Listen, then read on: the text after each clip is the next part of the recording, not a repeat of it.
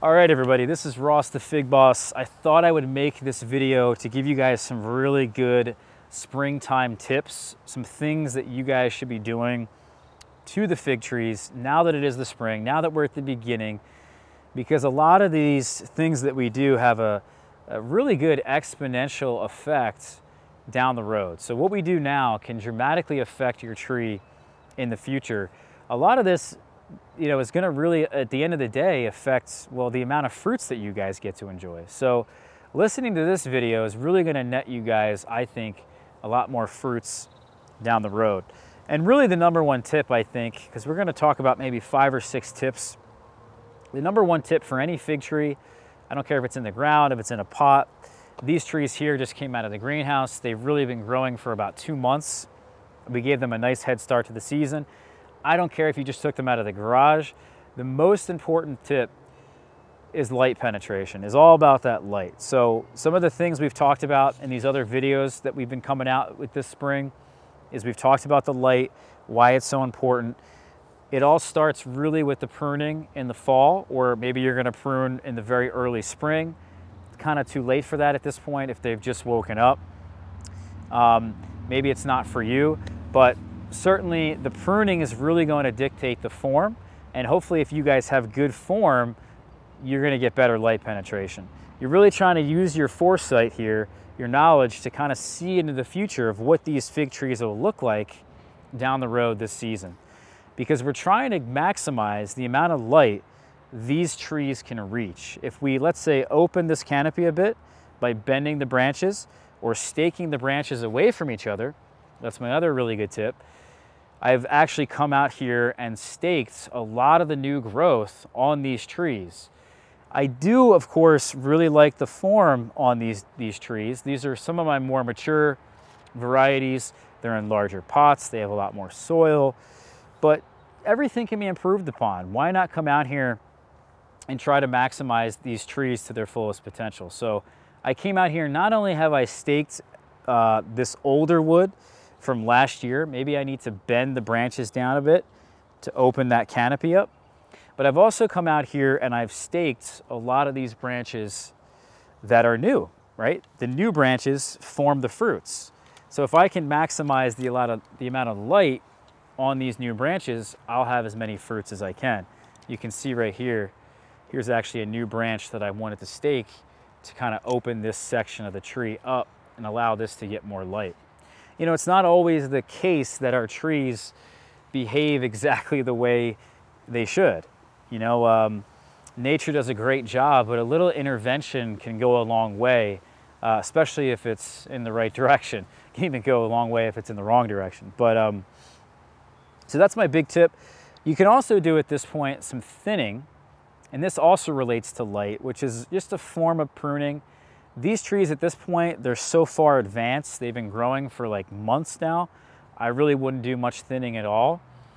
But if you really have some branches that you just know are gonna cause a problem later down the road with that uh, light that you're trying to achieve, then just break it off or prune it off. Uh, you can rub it off with your thumb. We've talked about all these topics in individual videos in really good detail. The second tip here actually is in the food. And uh, I think we can really get bogged down with the food. And I've talked a lot about the fertilizer and I kind of go back and forth year after year. At the end of the day though, and I think for a lot of us guys, you need to get a soil test first off to cover all your bases. That's really where the money's at because if you have a deficiency somewhere, you don't have enough NPK, let's say, then you're really gonna struggle. So make sure you cover all the micronutrients uh, give them some calcium and magnesium. They love that stuff, um, particularly, I should say, compared to the other micronutrients.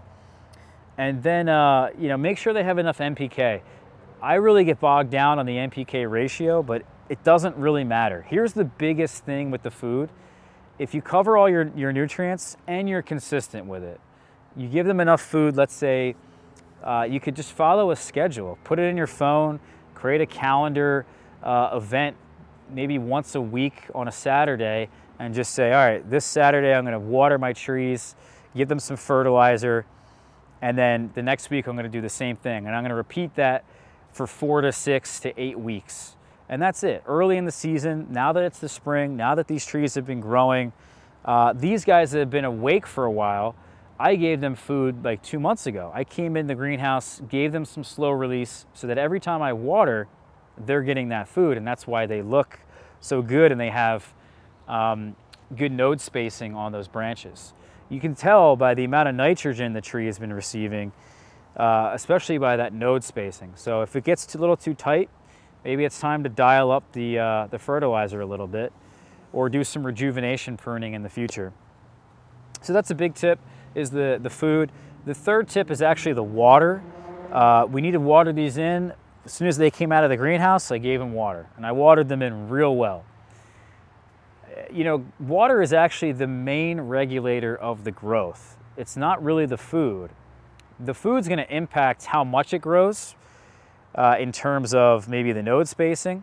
Um, you know, nitrogen really is gonna regulate your production, but if you are watering your trees a lot, they're gonna grow a lot more than if you're not watering your trees. It's really that simple. In fact, the fig tree is really kind of like a cactus. If you stop watering it, it's light on water, the growth will significantly slow. So it's uh, really important at this time of the year because our fruits, like I said, they form on that new growth. If we want to have more fruits, we need to water our trees more. It's really, really that simple. So water is pretty critical at this time of the year. Once the fruits form, we'll dial that back. We won't have to worry about it nearly as much. Uh, the next tip here is maybe we need to add a little bit more soil or care for the soil in some way. Uh, we've added our fertilizer, but maybe we need to top them off a little bit. Maybe we could add some mulch. Maybe uh, where you guys live, it's very warm and you're actually trying to decrease the soil temperatures. Add some mulch. Um, add some organic material to your trees, care about the soil in some way. Also eliminate any competition. So among these potted trees I have here, we have some weeds. If there are any weeds, just come in here and pull them right out. Um, we don't want to have any competition for these trees. Uh, the next big thing that we can do here, guys, uh, let me just take you on a little trip because we actually have a number of things going on on the patio in terms of propagation. So this is really the time when you guys are thinking about propagating is pretty much early in the season. We're gonna do our grafting. We're gonna do um, our air layering. So here's actually a bin I have here specifically for some grafts that I've done. You can see those really small grafts. If you wanna propagate a tree in any sense, now's kind of the time. Now that we're getting these trees awake and they have enough soil temperatures, right? We want to make sure the soil temperatures are around 70 to 80. That's when we're really going to have the most success when it comes to grafting, when it comes to air layering, um, even rooting, as we guys we have down here in this little propagation area. I have a number, I mean a ton of fig trees down here that we've just stuck in soil. The soil is really starting to warm up and they're all really leafing out.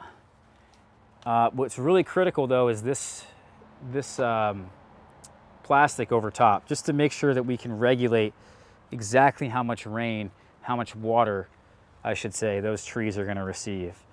So that's kind of it here. Whether it's a young tree, an old tree, those are really the five tips, the five things that you guys can be doing at this point of the season now that things are just now waking up.